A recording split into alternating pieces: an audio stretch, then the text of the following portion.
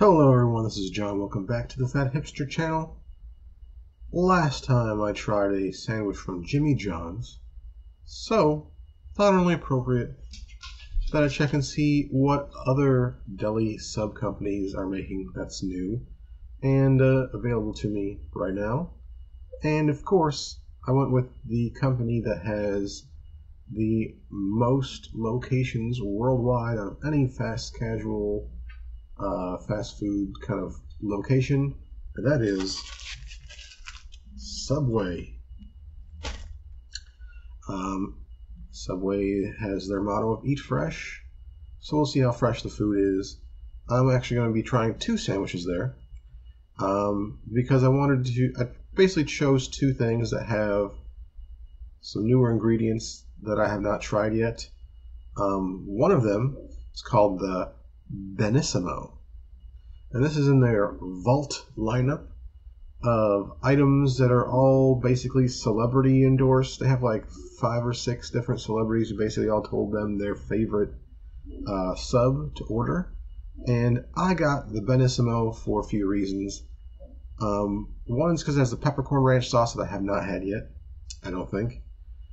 But uh, also, the celebrity person involved in this one is Jimmy Garoppolo.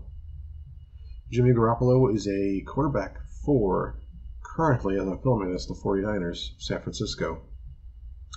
Um, but more importantly, he is a graduate from my alma mater, EIU, Eastern Illinois University, just like Tony Romo, um, the former Dallas Cowboys and current uh, NFL broadcaster.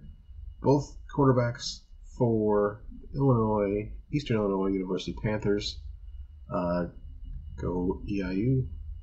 And um, they both set records. Tony Romo's number was actually retired at EIU. Um, I think Garoppolo beat a lot of Tony's records while in college. I uh, don't think his number is retired yet, but I'm assuming at some point that will happen.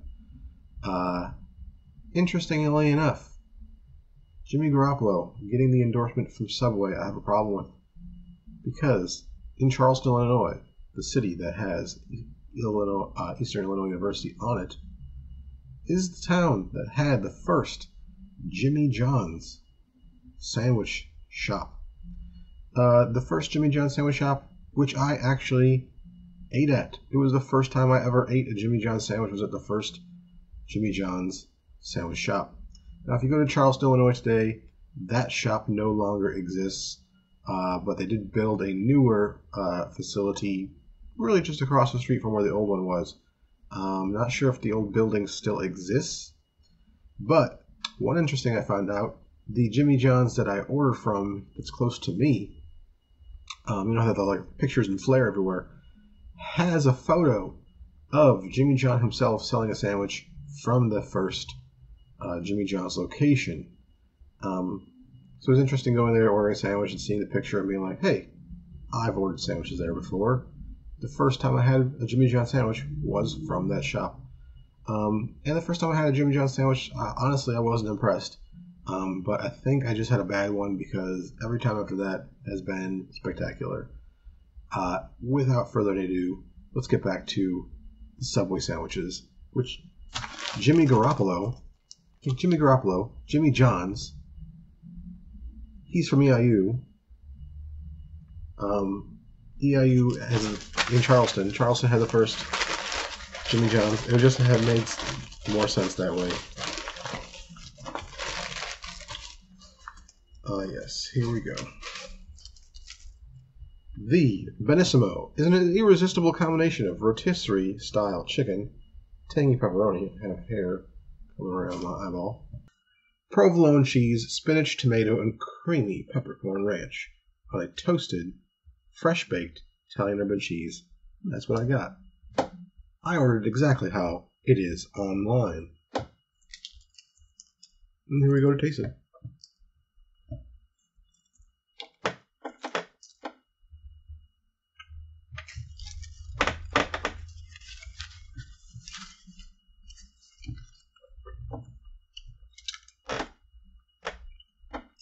really get a nice amount of pepperoni flavor.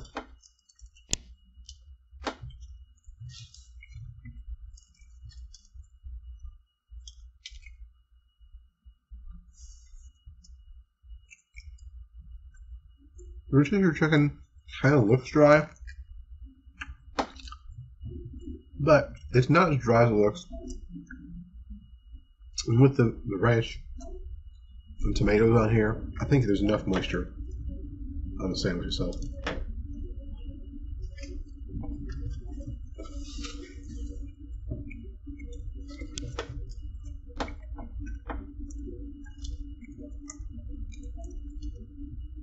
It's not a bad combination.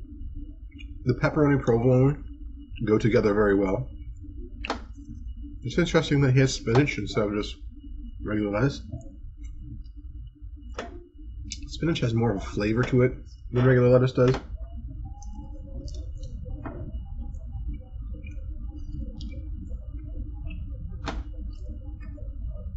The tomatoes on here are pretty thinly cut and don't have much flavor to them.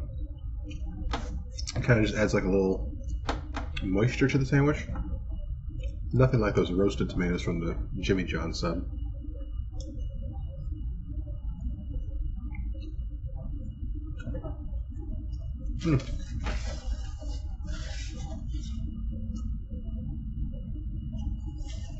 Not bad.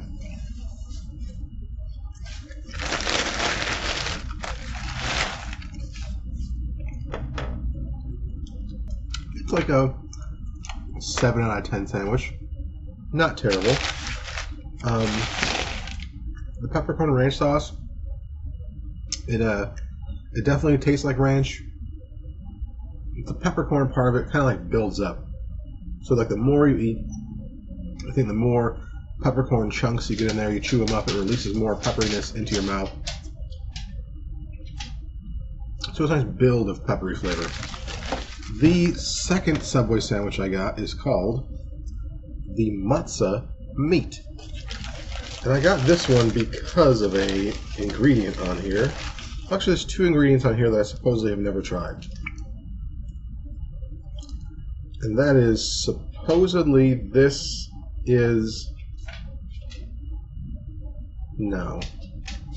This was supposed to be fresh mozzarella. Hold on. This is provolone on this sandwich here.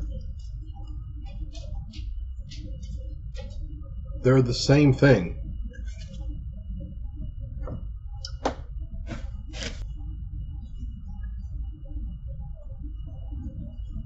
Okay. Well, there's two things on here that's new that I haven't tried. Now there's only one, and that is supposedly their new capicola. That's this darker meat here on top.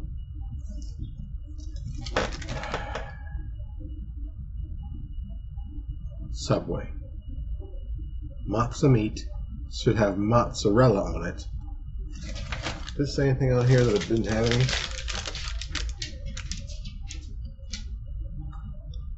Yeah, this is Mozza meat sub.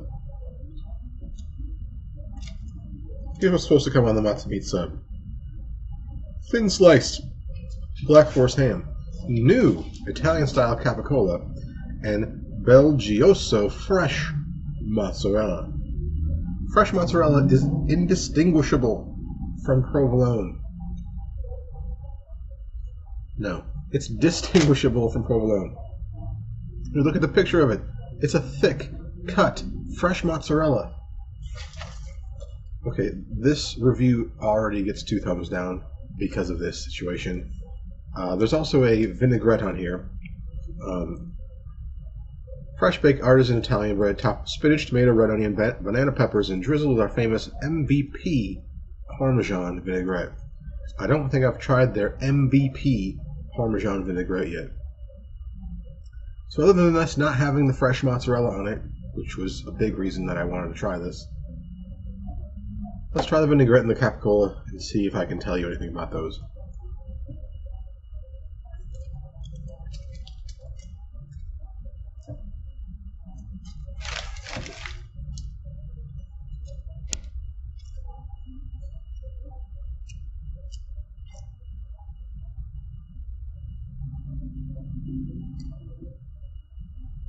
You know what this could have used? Fresh mozzarella cheese.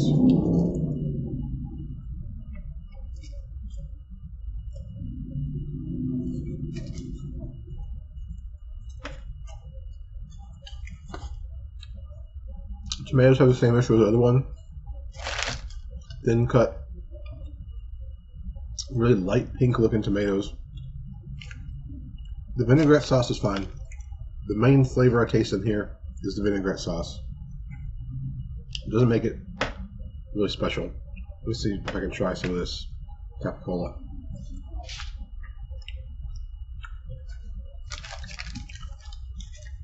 Capicola is not bad.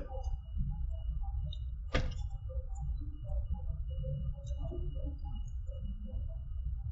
really wish this would have had fresh mozzarella on it.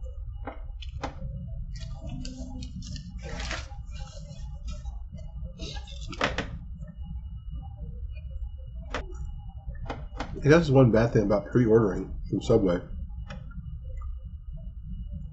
I guess you really have to keep your eye on them the whole time. That's why they're there behind the glass. Because they're going to screw up. And you got to be there to watch them to correct them. That's what all those places that have the people making behind glass. That's why it's there. You're their supervisor. Probably save money by not having a real supervisor or a real quality control. They just want you, the customer, to be the quality control. That's why that's, you can watch them do it. So I guess the lesson here is never pre-order or have a Subway delivered to you because they will screw it up. They know you're not watching anymore, so why even try? All right. The Benissimo one was fine. The Mozza one. The, the word is Mozza meat. That's the name of the sandwich. If you don't have mozza, it's not a mozza anything. Zero out of ten. Hope you enjoyed this video. Um, hope you enjoyed it a lot more than I uh, enjoyed filming it. Um, pretty frustrated about this. Um, I'm actually taking a break from doing some work, putting up some cabinets. I was going to enjoy this time, but now I'm going to go back to working frustrated. Anyway, give this video a like, subscribe to the channel, leave a comment in the comment section below, preferably one complaining about Subway. See you in the next one.